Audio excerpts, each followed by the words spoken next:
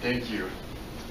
All right, good afternoon, evening. Thank you guys for coming and uh, spending your evening here to talk about the Army JAG Corps. Now, just because you put your name on that uh, pad does not commit you to anything whatsoever with the U.S. military. So that is just like, apparently just your internal sign-in sheet. Now, if you want more information, um, I just have a little list here of emails. I can email you my contact info um, if you have any questions um, about applying, anything in the process. I can send you our website um, and give you more information. Uh, and then, if you are interested in applying, I would just ask. I've got a sign-in sheet here for interviews tomorrow. Uh, if you're applying for the 2L internship or the active duty or graduating in your 3L, um, I would want to interview you tomorrow because I'm not going to be back down here for a while, uh, probably the rest of this year. So you have to get that interview done before it's part of your application process, and the application deadline is 1 November. Okay, um, so if you're applying for that, it's important to get the interview. So just a little bit of admin. Um, is there anyone here that's a 3L? Okay, a couple 3Ls, uh, 2Ls, all right, and then 1Ls. Okay, great. You guys are high speed. All right, getting ahead of the curve here. All right, so Captain Scott Baker, uh, I'm stationed up at Fort Stewart, Georgia, which is by Savannah.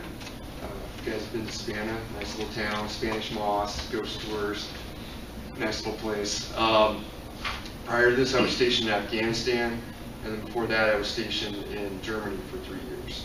So kind of a variety of assignments. Uh, spent most of my time in criminal law in the military, so the Army, we're pretty like criminal law focused. Soldiers get in trouble, unfortunately, all the time. Uh, and so we do a lot of criminal law. Um, so I'll talk to you a little bit about JAG.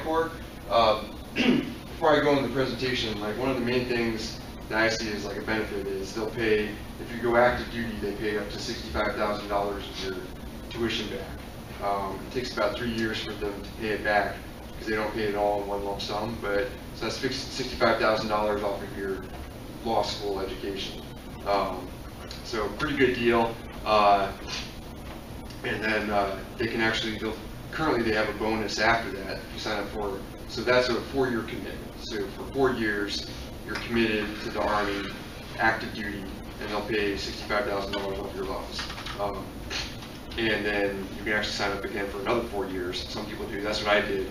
And they'll give you another $60,000, not for your loans, just for anything, uh, bonus or retention bonus to keep you in. So pretty good benefits. Um, people ask about the pay. You can look at the pay chart.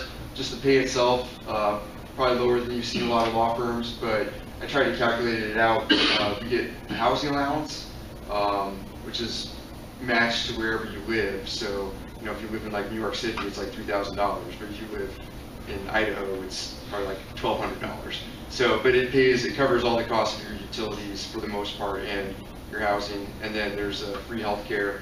So I think when I worked it out, uh, it's between about seventy-eight thousand dollars in total benefits. Um, so comparable to kind of like a mid-sized law firm.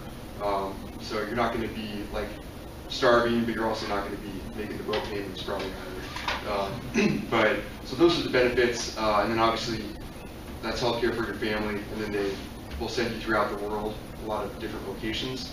And really, the main benefit I have had is the legal education. I mean, that's you guys are going to law school, you're going to be lawyers.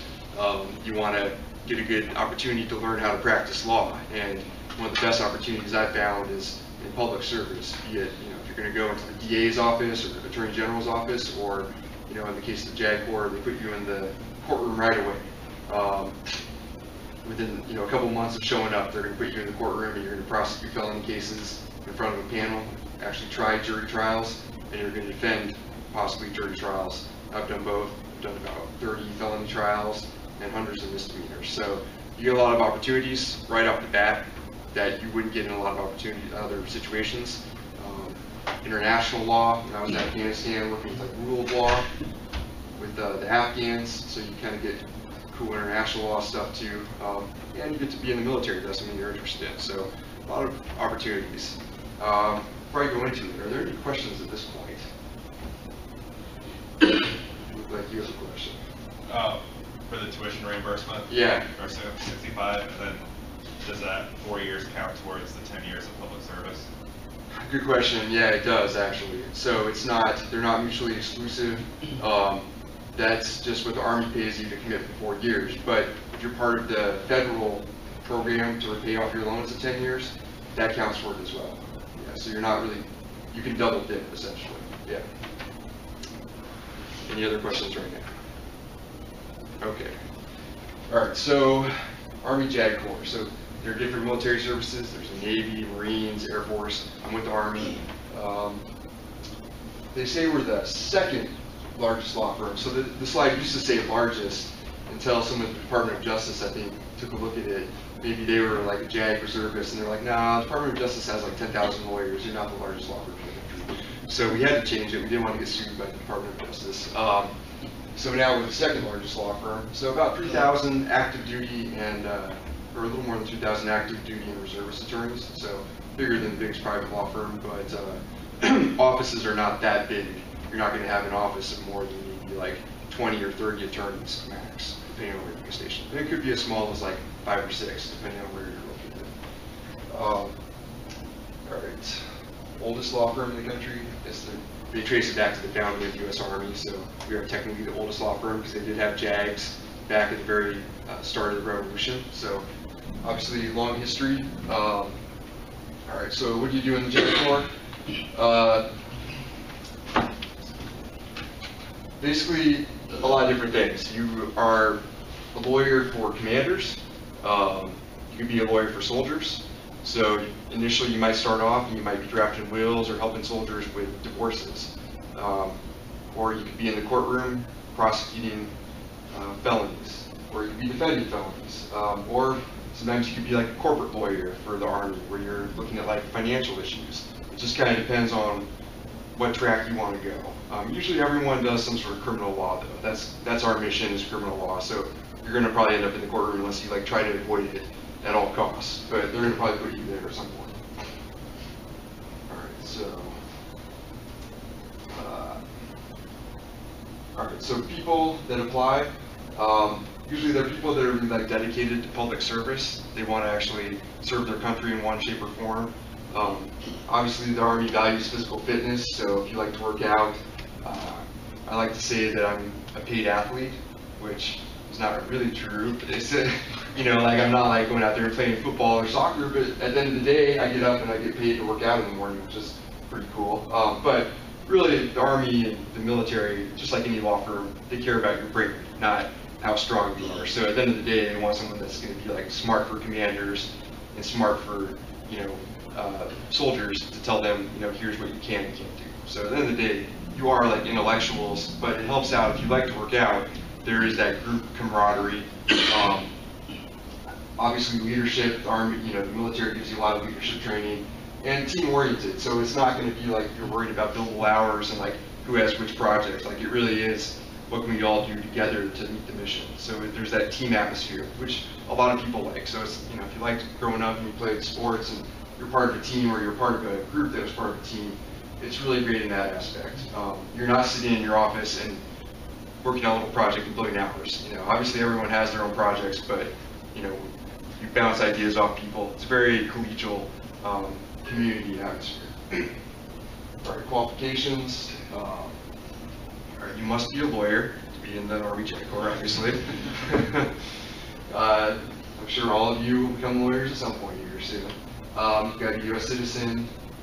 Uh, now, after duty, you have to be under 42 years old. Uh, now, if you're uh, older than 42, the reserves can actually waive that requirement. So the Army Reserves, that's where like you actually, you've got your civilian practice, and say you're, you're working for the DA's office, or your own private law firm, but one, one weekend per month and two weeks per year, you go and you're an active duty soldier essentially, and you go and you work on legal issues for the Army. There's some benefits to that. Now, a lot of people that do that actually end up kind of transferring it into the active side because they like it so much. But that's kind of just like dipping your toe in the water and getting a feel for it without actually having to commit full time, you know, 24/7 a day. but this is for the active duty, um, and you have to graduate from law school, obviously.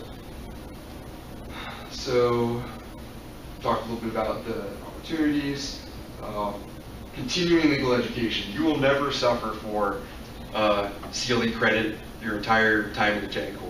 Um, I've been to so many trainings, I can't even count. Like, they just keep on sending you to training, like, they train you to death sometimes, it feels like. I mean, they will send you to training and after training, which is great. I mean, you learn a lot of skills at these trainings, they pay for everything, they'll send you to, you know, all sorts of places. Um, and you learn from very qualified professionals, and you get CLE credit. So whatever state you're admitted to, you won't ever have to worry about going to private CLEs or taking any additional classes. You'll be covered probably for life with all your CLEs, as long as you're in the Army. um, okay, so the initial phase, say you, you do decide to join and you get admitted.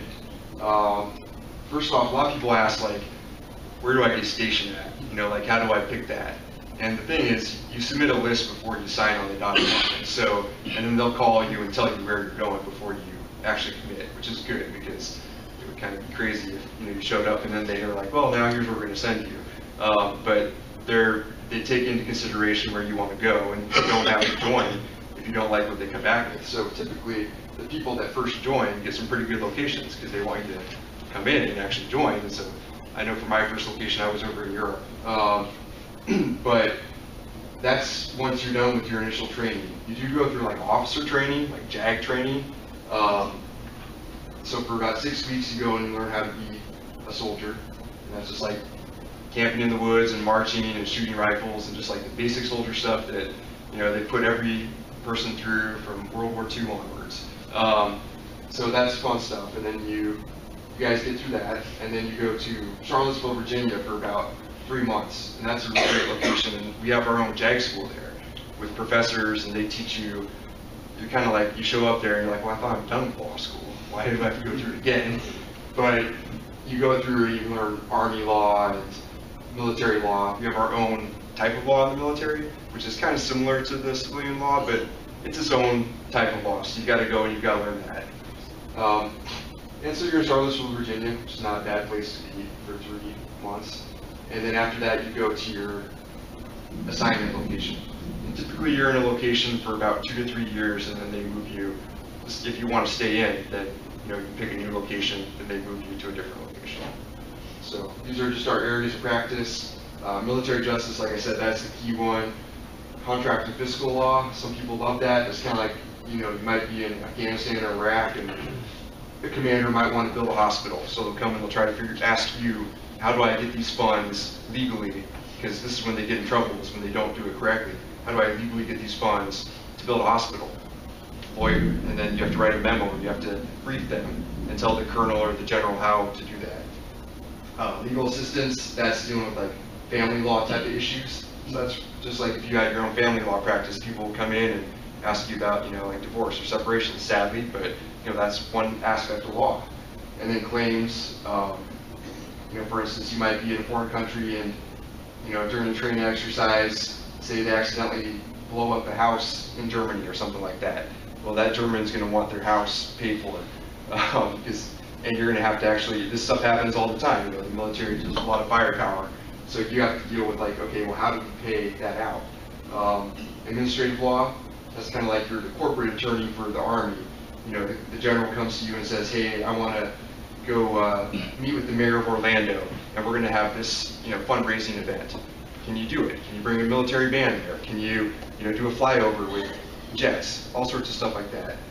um, and then international operational law. So like when I was in Afghanistan, that would be like actually driving out and meeting with the Afghans and trying to help them set up a justice system which they didn't have before. So stuff that in my mind, at least for the operational international law, you would never get that experience in any other type of legal environment but the military, because they're the only ones that have the um, capacity to go into some of these, you know, uh, third world areas where there's a lot of war and conflict and actually set up a legal system. It's part of the commander's mission. Um, but really the core competency is military justice. So, which in a lot of ways is going to be similar to what you're learning in criminal law here. You know, assaults, uh, all sorts of things, dealing with felonies, drugs, things like that. And you get to prosecute them, or if you like to be on the defense side, which is pretty fun, you get to go and you defend soldiers that are accused of that. And you really get to hone in your skill of how do I defend or how do I prosecute someone and convict. so that's really what we do a lot of. And then uh, development of legal skills. So I was in a private law firm for about two years before I joined the Army. And I probably heard from my partner, and this was a big law firm, and they probably told me maybe once how I was doing. Um, but I never really got kind of like an azimuth check, you know, or any sort of valuation of like, okay, here's what you can do better, here's how you can do this, here's how we're gonna improve your skills on this. I think the public sector, particularly the military, does a great job of mentoring employers and actually saying, okay, we're not just gonna put you in office and have you do document review or like, you know, review a contract. We're gonna teach you how to do something, and if we see like you might falter a little bit in this step, we're gonna give you like some evaluation, not negative, but like, here's how we would do this, or here's some more training to help you out with that. So they will mentor the heck out of you in the Army. They're like, they will not let you fail. They don't let anyone drop because they're constantly, it's all about looking out and developing you and building you up to be that, you know, that partner in the law firm or, you know, in the Army, that's going to be like a senior officer if you want to stay in. so really great leadership and mentorship opportunities. And then if you decide to stay in, they've got all sorts of different types of things.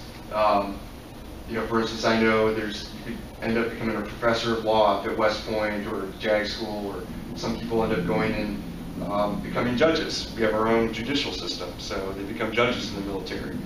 Or they might end up going and working as an appellate lawyer, so getting to argue before the judges, you know, drafting appellate briefs. So it's not all just you're out in the woods shooting, you're doing a lot of like legal thinking and really developing case law, but on the military side of things.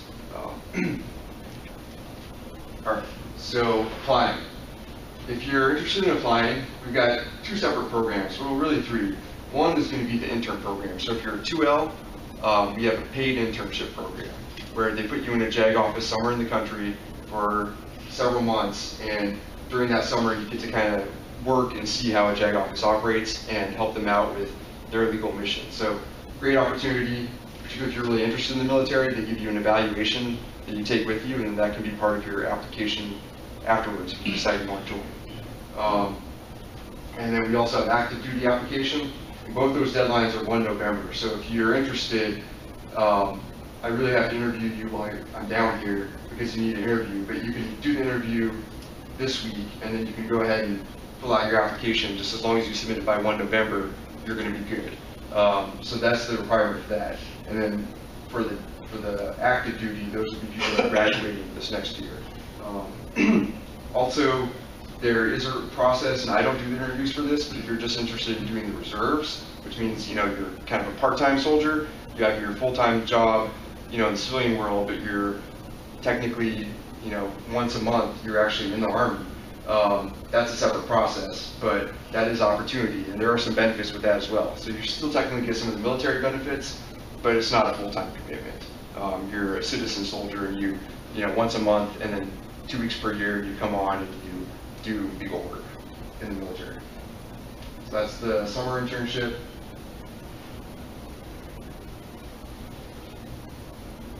And then that's, uh, again, the reserves. So for the reserves, actually, you can be over the age of 42. So if you're a little bit older and you want to still join, you actually can be, I think, well into your 40s or 50s and still get waived in the reserves because they just, they need a lot of lawyers in the reserves um, to help out. There are a lot of soldiers in the reserves as well, so they help out with their mission.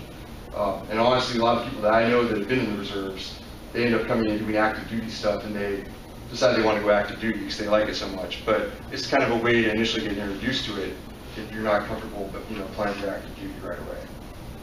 Uh. Financial incentives, all right, that's what everyone wants to know about, right? Uh, so like I talked about, there's a $65,000 loan repayment, and then there's a continuation bonus after your first four years of $60,000 currently. Check when you're applying or when you're in, because you know we don't know if that's always going to exist. But currently, there's a $60,000 additional sign-up bonus after four years. And then the reserves, you decide not to do the active duty, but you just want to do the service. they either give you $10,000 just to join, or it's a $30,000 uh, student loan repayment program. But I'll say this, the reserves do go through the whole basic, you know, JAG officer training. Um, so they come in as first lieutenants, and then they go through the training, which is, you know, it's going to be about four months of training, and then they get certified as a JAG officer, um, and then they become captains shortly thereafter. So everyone was a commissioned officer when they're in the JAG Corps, and then you made captain shortly after you joined. And the world is our workplace, and obviously there's a lot of opportunities. You can be stationed anywhere from like Kansas to Georgia to Afghanistan to Korea or Asia, Hawaii, lots of different uh, locations. Um, And obviously the Army's right now the biggest force-wise of all of our, of all of our military forces. So we have bases throughout the country and throughout the world. So, okay, it's my recruiting spiel. Um, What questions do you guys have about anything? Yes? The 2L internship, is that 2L going to your 3L, or is that your 1L going to your 2L? It is going to be your 2L going into your 3L year, yeah. So if you're 2L right now, you'd be applying for the 2L internship, yeah. Uh, 1Ls, you don't really, they used to have a 1L internship program, but I think they're really geared now towards like 2Ls, so do the internship and then you're interested and then they, you know, they convince you to apply on active duty after that. So, yes. Uh, for bar admission, you, do you have to be admitted to any bar? Or is it like a, Yeah, I mean, you have to be a lawyer, definitely. Like, you have to be admitted to one bar. Okay. Um, I think it's any state or federal district, yeah. So, you take the bar exam, usually before you show up, you'll take the bar exam, and then probably after you take the bar exam, you'll start the next class after that. So say you like, take the bar exam in July, you probably start in September or October for that next class, It's kind of like you would with a law firm, yeah. Any other questions? So you have wings, so you guys go airborne too?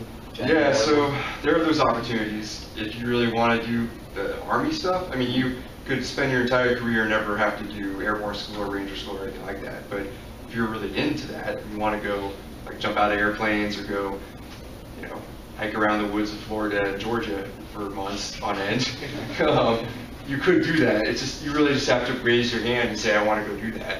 Um, so I went to airborne school. I thought it'd be interesting to go jump out of airplanes. It was not. Um, uh, but uh, you can go do all that. Yeah, there's there are a ton of different opportunities from deploying to airborne school, air assault school, people that like rappel down helicopters, like Black Hawk Down. They they'll train you to do all that. Or you could just be just take in the legal field and like say you want to become military, criminal justice law. You know, focus on like prosecution and defense, um, or both. Just it really depends on what you plan, like what you want to do. yeah. So, any feedback from people that have been in the military? What? Uh, just, you know, on your experience, um, active duty.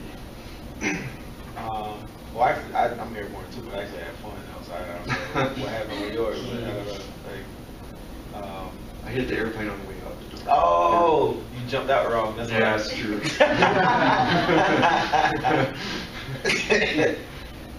uh, So you're active duty National Guard, right? yeah. Okay, yeah. Um, Yeah.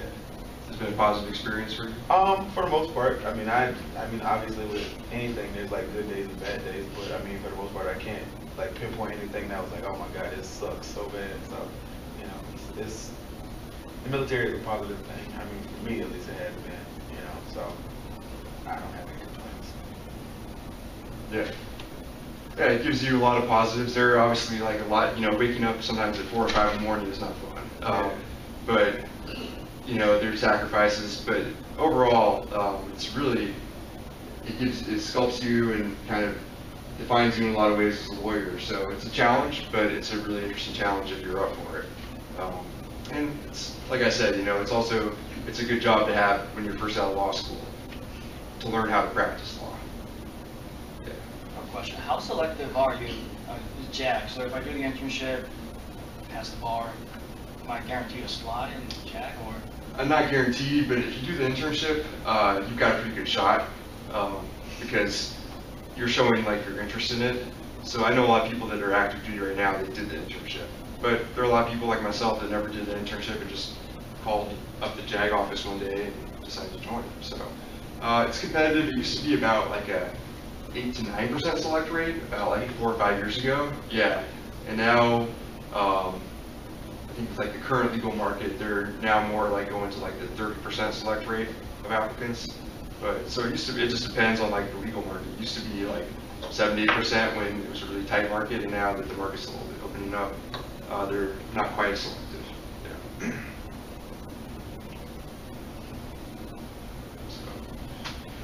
Any other questions?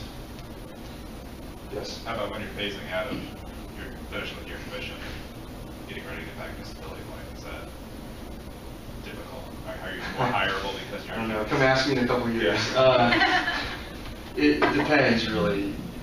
It's, uh, from what I understand, a lot of people end up in U.S. attorney's offices, they go directly from the JAG Corps to U.S. attorney's offices. Because it's, like, for some reason, a lot of U.S. attorney's offices have like a large group of JAG alumni, and so I think it's pretty, like, they hire a lot from the people that are getting out of the JAG Corps. I know that, which is great, because it's like almost impossible to go and get a job in the U.S. attorney's office. So I think for that, it'd be great.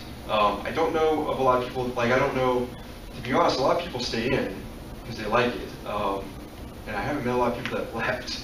And I've been in for six years. So I think that most people I've met that have left have gone and done something with like Department of Justice. And it seems like it's worked out pretty well for them. Yeah. So I think it, I've never heard that it hurts you in any way. I think it only helps you out. Yeah. So, any other questions? All right, well, if you want to talk to me more, um, I've got a sign-in sheet for interviews. Also, if you just want to come and talk to me more about the process, let me know. You can sign up uh, for tomorrow, we can just chat about it, or you can just give me your email. Um, I'm not committing to anything. Honestly, I, uh, I don't know how long I'm going to be in the Army. I'm just simply, you know, coming down and trying to inform people, and I know that, you know, this is, um, you know, one of the law schools on the Army's list, a lot of people like know about it, so, you know, if you just want to know about it, you want me to send you information or get my contact info, ask me any questions, just give me your email. I'm happy to talk to you about it, right? So, thank you guys for spending your afternoon.